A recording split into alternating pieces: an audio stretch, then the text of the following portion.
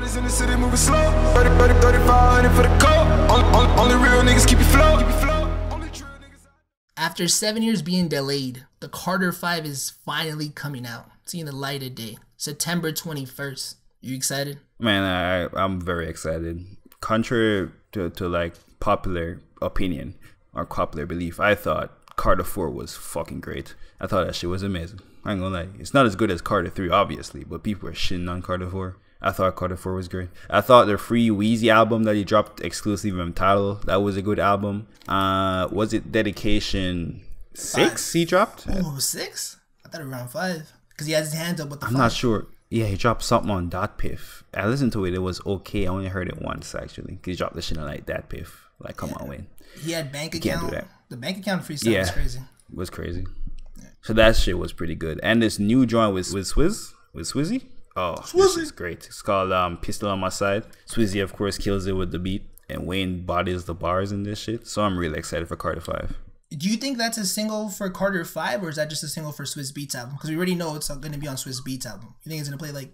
I think it's a single for um Swizz Beatz album, but Lil Wayne is just on it because Carter Five is coming up, so it's building a hype The promo. for Carter Five. Yeah, it's promo. It's part of promo, so they're just doing a two for one, two birds, one stone. I feel like. If he gets back to the Carter 4 wing, which I hopefully he focuses on like tr- for the Carter 5, he hopes he focuses on tracks like President Carter, you know, Mega Man. Blunt blowing that Blunt shit. blowing. That shit You know, top shit like five in that. real life. Can't lie to you. Okay, I don't know if that's a top five Wayne, but those are cool for the moment though. Just like I think for like President Carter's only song that really ages. Like if President Carter was supposed to like going to be on Carter Five, it would be really really good. The fucking Mm. sample, I President Carter. I don't know what to expect from this Wayne album. I'm more interested to see what's it gonna do first week.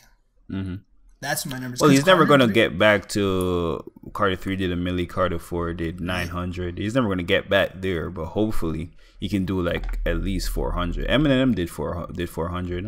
Yeah, Eminem did. So 400. hopefully, yeah, and he was dissing niggas. So hopefully, Lil Wayne can get at least three fifty. That would be a good number for Wayne, especially since he's been like absent for a long period of time. These young niggas don't know Wayne. They know the trash Wayne. They don't know Carter three. Three. They don't know before before Carter three with all the fire tracks. They don't know about that. Mm, they don't know three Pete. Yeah. They don't know playing with fire. They don't even know a Playing- milli.